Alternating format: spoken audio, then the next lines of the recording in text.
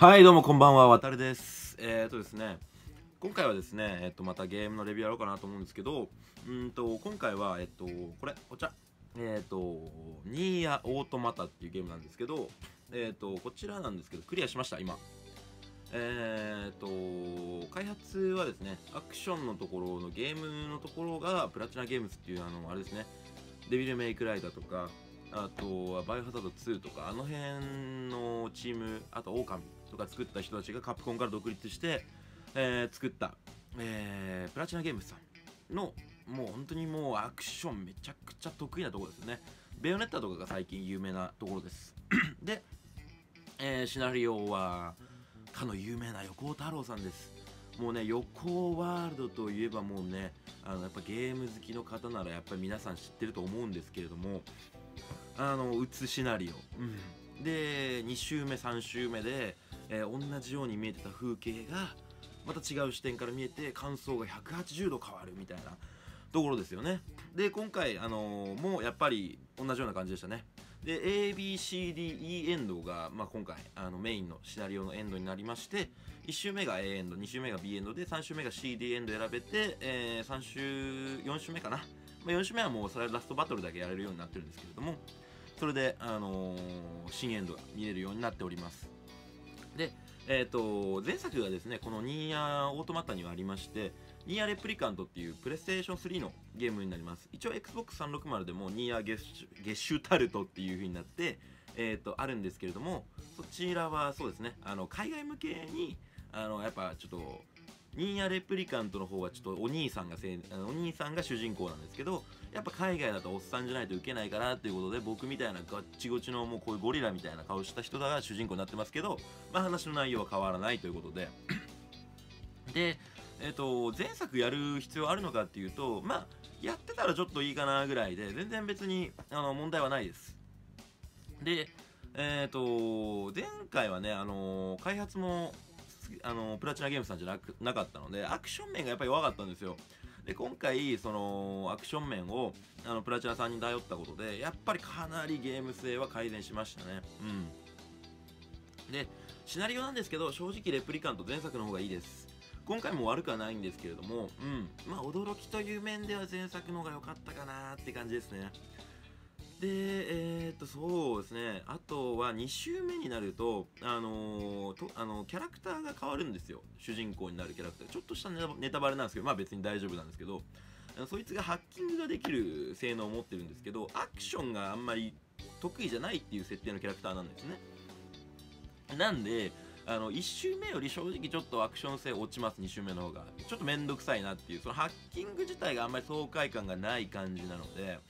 うーんちょっと微妙かなって感じと。あとその多分横尾さんこのシナリオ書いてる横尾さんの趣味だと思うんですけどあのシューティング要素が強いところがあるんですよね。うん。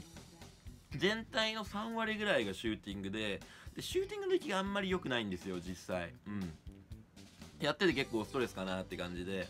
ただもういつも通りまあもともとドラッグオンドラグーンっていうシリーズから人気が出て派生したのがニーヤですけれどもやっぱ音楽それから世界観で今回に至ってはアクション、まあ、ここに関してはもう素晴らしい出来ですね。やっぱりこうなんだろうなもう音楽がやっぱりもうずば抜けて出来がいい。前作のあのニーヤレプリカントも音楽あの何でしたっけ？あのなんかの賞取ったんですよ。あのゲームオブジイヤーの音楽部門だったかなんか忘れちゃったんですけど。だからねめちゃくちゃそこに関してはねやっぱりねずば抜けてるね。うん。でこれどういう人がやりたいかなっていうとやっぱアクションが好きな人だったり、えー、打つシナリオが好きな人、えー、それからそうですね。まああとやっぱ音楽が結構重要視するよっていう人とかあと SF 好きな人。荒廃した世界観が言うあのー、あれなんですよ。なんですよね。うん。でちょっとシナリオの触りを言うと,、えー、ここに書いてあるところに、えー、突如襲来した宇宙人の繰り出す機械生命体の圧倒的戦力を前に人類は地上を追われ月に逃げ去った。地球を奪還すべく人類はアンドロイドによる抵抗軍を組織。最新鋭の戦闘用歩兵ヨルハ部隊を地上へと送り込む、えー、荒廃した地で永遠と続くアンドロイドと機械生命体の、えー、熾烈な戦いその戦いの中ヨルハ部隊 2B と 9S は知られざる真実の扉を開けることとなると。ということでですねあのー人間が全く全然出てこないんですよ。アンドロイドたちと、まあ、機械生命体っていうのがあの戦いがテーマでもう本当にね寂れた街だったりとかが結構出てくるんですよね。うん。だからそういう世界観が好きな人はもうねたまんないですよね。なんていうんですかねあのー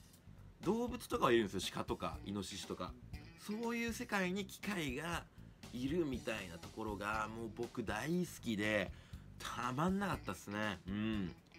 だからなんだろうなロボットまこういうキーワードロボット、えー SF、えー荒廃した近未来。こういうワードにビビッとくる方はもう絶対買った方がいいですね。